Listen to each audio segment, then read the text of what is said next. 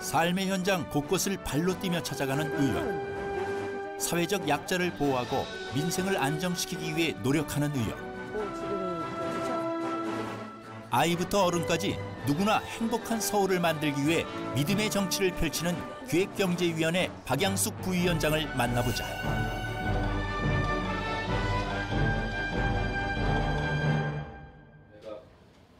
제263회 임시회 기획경제위원회, 기획조정실, 경제진흥본부 등 서울시 경제 관련 현안을 다루고 있다.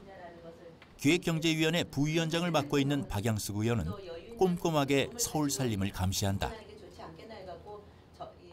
사회적 경제 관련해서 차투기금도 운영하고 있는데 지금 보증 신용보증재단이 금융의 역할을 하고 있는 것 아니겠습니까? 네. 해서 이게 일반 보증과 다르게 특별 보증 형태로 일종의 이제 우리 서울시의 정책 에 같이 종해서 보증을 하는 특별 보증, 정책 보증 이 부분들에 대한 주문을 했고 해서 아마 사회적 경제, 뭐 사회적 기업이나 합동조합 등에 대해 보증이 이루어진 걸로 알고 있습니다. 그런데 이 부분이 뭐 여러 가지 금리나 이런 부분에서 이 사회적 경제에 유리할 수 있도록 뭐 마- 만들었다고 하는데 실제로 이 보증을 이용할 수 있는 여건, 요건에 해당되어지는 그런 현재 사회적 경제 관련한 기업들이 더 없습니다. 그래서 이 보증을 이용할 수 없는 이런 게 현실이어서 실제로 그 사회적 기업들이나 사회적 경제 관련한 기업들이 이 보증을 이용할 수 있도록 그 요건을 좀 변경하는 그 일반 그 요건 일반 보증과 좀 다르게 이 부분을 좀 주문을 했는데 신속하게 결과물이 좀 안 나오는 것 같습니다. 그녀는 서울 시민들이 안정된 생활을 할 수 있도록 서민 경제 안정에 초점을 두고 의정 활동을 하고 있다. 사실 이명박 어떤 시장이나 아니면 오세훈 시장 때는 훨씬 더 성장이라는 부분에 또 도시 어떤 개발이라는 부분에 초점이 맞춰졌다면 이제 박원순 시정에서는 저희가 8대 때도 지속적으로 그런 음 뭐 관점에서 서울시장을 들여다보고 또 주장도 해왔지만 마치 서- 이제 박원순 시장도 또 그런 관점을 갖고 있기 때문에 같이 협력해서 어 여전히 성장의 측면에서도 가야 되는 부분도 있지만 그 취약계층들도 같이 보듬고 가는 그런 따뜻한 성장을 했으면 좋겠다라고 하는 부분들이 여전히 지금 가지고 의정 활동을 하고 있습니다. 대학교 때 학생운동, 노동운동을 하며 정치와 인연을 맺은 박양숙 의원. 국회 정책연구위원 등 다양한 활동을 바탕으로 2010년 8대 서울시의원에 당선, 보건복지위원회와 재정경제위원회 부위원장으로 활동했다. 그녀는 초선임에도 불구하고 시의회 개혁과 발전특별위원회 위원장과 정책연구위원회 위원장을 맡아 맹활약하기도 했다. 이어 9대 서울시의원에 당선, 의회 개혁과 민생 안전을 위해 의정 활동을 펼치고 있다.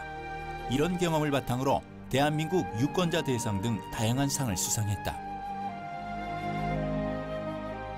사실 이제 시의원이라고 하는 위치 존재가 시민들로부터 어떤 권한을 위임받은 존재 아니겠습니까? 그래서 위임받은 권력이고 그래서 시민들을 대변해서 시민들을 대변해서 발언하고 또 시민의 눈으로 또 서울 시정을 살피고 뭐 이제 시민의 발이 되어서 움직이고 이렇게 해야 된다라고 하는 게 저희 기본적인 어떤 가치 철학이니까요. 그리고 거기다가 아무래도 좀 그 우리가 깊이 들여다봐야 되는 그런 문제점들. 그러니까 우리 시민 전체를 먹거리의 문제라든지 뭐 이런 것들 중요하니까 이제 그런 부분에 저는 조금 더 깊이 들여다봐서 해 가야 되지 않을까라는 생각을 하고 또 그런 역할들도 좀 주어지는 것 같아요. 그래서 예, 그 부분도 이번에 제가 재선하면서 어, 그쪽에 좀 많이 들여다볼까 생각하고 있습니다. 하나고가 그 지난 2015년 8월 열린 하나고 특혜 의혹 진상규명을 위한 행정사무조사 특위. 하나고등학교 설립 과정에서의 특혜와 학생 선발, 교원 채용 등에서 나타난 총체적 문제점에 대한 특별감사가 진행 중이다. 박양숙 의원은 하나고 설립 운영 과정에 편법과 특혜 의혹이 있다고 지적했다. 이 법령에 명기되어 있는데 첫 번째 권학 이념 및 학교 운영에 관한 계획, 두 번째 교육과정 운영에 관한 계획, 세 번째 입학 전형 실시에 관한 계획, 네 번째 교원 배치에 관한 계획, 그 밖에 자율형 사립고등학교 운영 등에 관한 교육감이 정하여 고시하는 사 이런 다섯 가지 사항들을 서류로 제출하도록 되어 있습니다. 이 내용이 한 장에 다 담겨지리라고 보여주십니까? 2015년 11월 열린 부실채권 소각 행사. 부실채권 시장의 문제점을 인지하고 서민금융복지 지원 공론화를 위해 마련한 자리다. 박양숙 의원은 이처럼 갈등이 있는 현장을 직접 방문해 조정하고 해결하는 민생실천위원회에서 활동하고 있다. 채권 소각 행사를 시작으로 서민들의 삶의 목소리를 생생하게 듣는 민생 투어를 시작했다. 우선 노동 현장을 방문해 노동자들의 애로사항을 청취하고 임대주택 거주자들의 실태와 삶의 질 향상을 위한 논의도 했다. 민생실천위원회 위원장을 맡고 있는 박양숙 의원. 현장에서 들려오는 생생한 목소리를 꼼꼼하게 기록한다. 그녀는 이런 문제점 중 현장에서 바로 처리가 가능한 사항들은 사업주와 곧바로 협의하거나 중재했다. 현안별로 집행부 지원이나 제도 개선이 필요한 사항들은 단계적으로 개선해 나갈 계획이다. 알겠습니다. 밤 9시 민생 투어 첫날의 마지막 코스로 서울 시민의 발인 서울 메트로를 찾았다. 최근 몇 년간 서울시 지하철을 운행하는 기관사 10여 명이 우울증 등을 참다 못해 세상을 스스로 떠나기도 했다. 그녀는 직접 기관사들의 근무 환경 점검에 나섰다. 어둡고 좁은 기관실에서 외로운 운행을 해야 하는 지하철 기관사. 천만 시민의 안전까지 책임지고 있어 어깨가 무겁다. 네, 그런 분들이 계속 이게 뭐 처음에는 뭐 예외적이라고 하는데 계속 이제 연이어서 있어서 밤에는 박 의원은 기관사들의 열악한 근무 환경을 절감했다. 장시간 이렇게 피곤할 때는 더 막 그러시겠어요. 뭐 개인적으로 다 자기 그 휴양 관리는 잘 하니까요. 네. 제도 개선이 필요한 부분들은 조례 재개정을 통해서 지금 오늘 하루 종일 했던, 어, 파악했던 문제들을 이제 풀어나갈 그런 계획입니다. 서울 성동구에 있는 송정 제방길은 성동구에서 장안철교까지 약 3.2km에 이른다. 지난 2012년부터 3년간 공사를 마무리하고 시민들을 위한 안전하고 쾌적한 거리로 재탄생했다. 이곳은 울창한 나무숲이 유명하고 자연의 아름다움을 감상할 수 있어 서울의 대표적인 걷고 싶은 거리로도 꼽히고 있다. 박 의원은 지난 8대 서울시 의원이 된 후 송정 제방길 환경 개선을 위해 발벗고 나섰다. 우선 어둡고 칙칙했던 제방길을 환하고 깨끗하게 정비했다. 또한 자전거 도로를 분리해 보행 친화 거리로 만들 수 있도록 도왔다. 환경 개선을 완료한 송정 제방길은 장미와 벚꽃 특화 거리로 조성해 사계절 내내 시민들의 발길을 모으고 있다. 송정 제방길 환경 개선과 특화 거리 조성을 위해 끊임없이 현장 답사와 주민 협의를 거친 박양숙 의원. 송정 제방길은 주민들뿐 아니라 많은 사람들에게 사랑받는 거리가 되고 있다.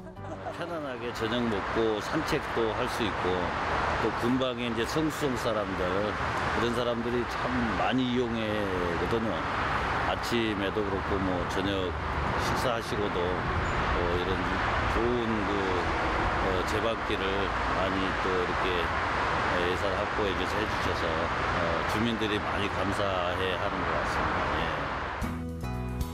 기존에 송정 제방길 위로 다녔던 자전거 도로는 중랑천변으로 내려 한강으로 연결될 수 있도록 도왔다.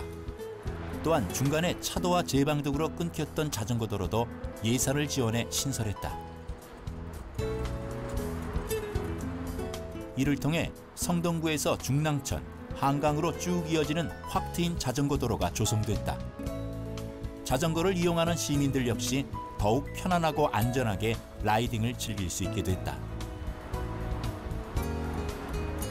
박 의원은 이 밖에도 송정 제방길 주변 체육시설물 환경을 개선했다. 축구장에 노후된 인조잔디뿐 아니라 운동기구도 교체해 시민들이 생활체육을 마음껏 즐길 수 있도록 했다. 도로랑 같이 겹쳐 있을 때는요, 이게 걷다 보면 위험했거든요. 가다 보면 이렇게 자전거랑 사람이랑 부딪혀서 많이 사고가 나요. 거기서 이렇게 병원으로 가는 일도 벌어지고 많이 그랬는데 요즘 이렇게 분리가 돼서 사람들이 다치지 않고 건강하게 걸을 수 있어서 참 좋은 것 같아요. 그동안 성동구 사근동 내부순환로 교각 하부에 비둘기가 많이 서식했다. 때문에 교각 하부에 비둘기 배설물이 많이 떨어져 주민들이 피해를 입었다. 박 의원은 교각 하부에 비둘기 접근 방지 시설을 설치할 수 있도록 도왔다. 비둘기가 안- 못 앉다 보니까 다른 데로 이렇게 저 이동을 하지 않나 또 이런 생각도 들고 있습니다. 네, 네. 2015년 10월 비둘기 접근 방지 시설을 설치한 후 교각 하부는 위생적으로 깨끗하고 쾌적한 공간이 됐다. 주민들은 안심하고 생활체육을 즐길 수 있게 됐다. 비둘기 날아다니고 할 때는 거기에서 한 번씩 나르면 배설물들이 너무 떨어지는 거 눈에 보일 정도로 많았었거든요. 그런데 지금은 그런 게 안 보이니까 너무 환경이 쾌적해서 너무 좋은 것 같아요. 애기들도 마음대로 뛰어놀 수 있게 놀 수도 있고 그래서 너무 좋은 것 같습니다. 서울에서 지하철 깊이가 깊은 곳 중 하나인 5호선 마장역 2번 출구. 일일 평균 7천 명 이상의 주민들이 이용하고 있다. 하지만 편의시설이 없어 어르신, 장애인 등 교통약자들이 불편을 겪고 있다. 박양수 의원은 시민들의 생활 환경 개선뿐 아니라 보행 환경 개선에도 많은 관심을 가지고 있다. 그녀는 이곳에 25인승 규모의 엘리베이터 한 대를 연장 설치할 수 있도록 도왔다. 연장되는 엘리베이터는 지하 2층에서 지상으로 올라오는 것으로 약 20m 높이다. 2016년 말 엘리베이터가 신설되면 보행 약자뿐 아니라 마장 축산물 시장 이용 주민 등 많은 시민들이 편리하게 이용할 수 있을 것이다. 이그 엘리베이터가 승강장에서 여기까지만 멈추고 지상으로는 연결이 안 돼 있어서 굉장히 불편했었거든요. 그래서 어, 그 저희가 작년에 뭐 예산을 14억 확보를 해서 올해 지금 설계가 끝나서 내년부터는 공사가 이제 들어가게 될 것 같습니다. 성동구 용답동과 사근동은 청계천을 사이에 두고 둘러 나뉘어져 있다. 주민들은 보도 육교를 통해 동과 동 사이를 오가고 있다. 하지만 계단으로 이루어져 있어 장애인이나 어르신 등 보행약자는 이동하기 힘들다. 청계천 위에도 징검다리가 놓여 있지만 보행약자들은 이용하기 힘든 상황. 때문에 동과 동 사이가 단절돼 있다. 특히 용답동 주민들이 사건동에 잘 마련돼 있는 체육시설과 자전거 도로를 이용하기 위해서는 먼 곳까지 우회해서 가야만 한다.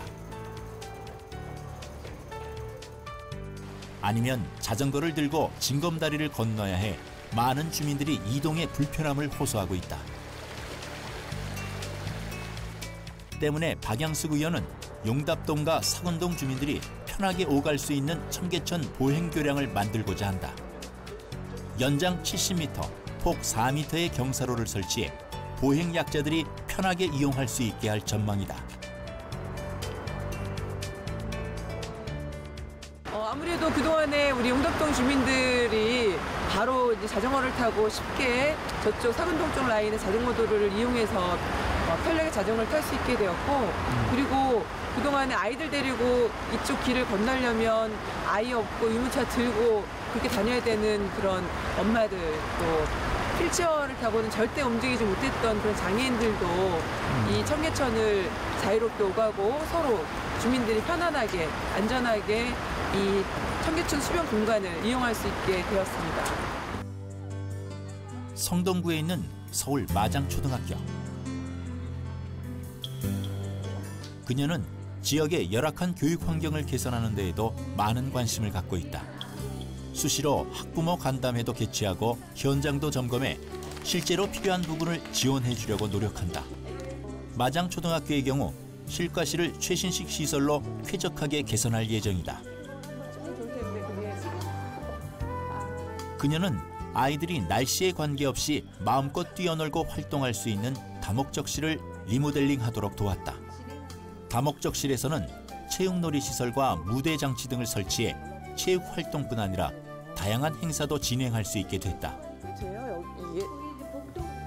이 밖에도 그녀는 통학로 개선, 조리기구 교체, 화장실 환경 개선 등 다양한 부분을 개선하도록 지원했다. 박 의원이 학교 실정에 맞는 작은 부분까지 도울 수 있는 건 끊임없는 현장 점검과 소통. 그녀는 앞으로도 꾸준히 교육 환경을 개선해 아이들이 편안하게 꿈꾸는 학교를 만들기 위해 노력할 것이다. 의원님 오신다 그러면 엄마들이 연수 때도 얼마나 많이 와요. 뭐 한다 그러면 다 보이는 게, 어, 이제, 아, 이렇게 바- 해주니까, 그리고 이렇게 약, 이렇게 관심 가져주고 이러니까 학부모들이 그냥 모이는 거죠. 오신다 그러면 정말 이렇게, 아, 이런 분. 박영, 마을 사업에서도 막 얘기 나왔다 그랬잖아요. 많이들 아시구만. 이런 게 참 중요한 것 같아요. 1944년 개교한 70여 년 전통의 서울 동명초등학교. 박양숙 의원은 이곳에 서울시에서 역점적으로 추진하고 있는 에코스쿨을 만들 수 있도록 예산 지원 등 꾸준히 관심을 쏟고 있다. 에코스쿨 사업은 학교 유희 공간에 학교 숲을 조성하거나 벽면 녹화 등 다양한 녹지를 조성하는 것이다. 동명초등학교는 텃밭 등 자연 학습장과 야외 학습마당, 맨발 지압로, 산책로 등을 조성했다. 또한 박 의원은 운동장에 안전 펜스를 설치해 학생들이 안전하게 자연 환경을 즐길 수 있도록 신경 쓰고 있다. 너무 열심히 하시죠. 저희 여기 박양숙 의원님께서 저희 에코 에코스쿨 그 다음에 저희 체육관 그 다음에 뭐 주차장 하신 분이 너무 많으시죠. 많이 만나서 이야기도 나누고 학교 애로사항 말씀드리면 많이 이렇게 수용해 주시죠. 네, 열심히 여기저기 발로 뛰시는 정말 보시고 그리고 이게 하시는 그런 분이세요. 탁당 행정이 아니라. 네. 박양숙 의원의 섬세한 손길은 지역 곳곳에 미친다.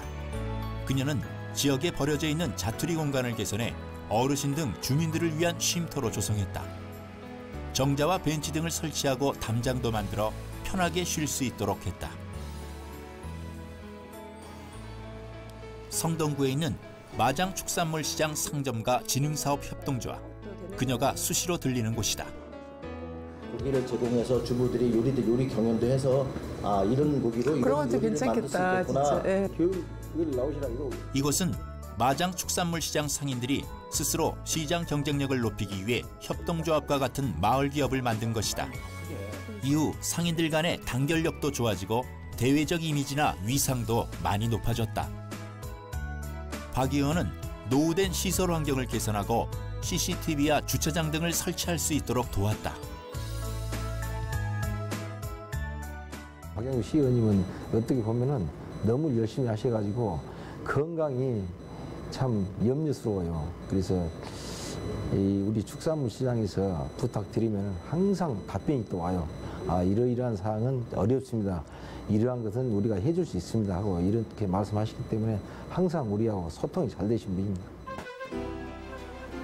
마장 축산물 시장 협동조합은 스스로 이윤을 창출하고 활성화하는 구조다. 그녀는 이런 협동조합, 마을 기업 등이 활성화돼 지역 경제가 건강하게 성장할 수 있도록 꾸준히 지원할 계획이다. 안녕하세요. 네. 어떻게 뭐 많이 좀 나가나요? 예, 대목도 보셔야죠. 연시 팔으려고 지금 움직이고 있어요. 네, 네. 항상 시민의 곁에서 울타리가 되어주는 그녀. 소외된 계층의 손과 발이 되어 오늘도 열심히 뛰는 박양숙 의원이다. 멀리 있는 어떤 뭐 그 그런 사람이 아니라 가깝게 느껴지는 음, 누이 같고 뭐 친구 같고 뭐 이런 사람으로 되어지면 좋겠다고 생각을 합니다. 예.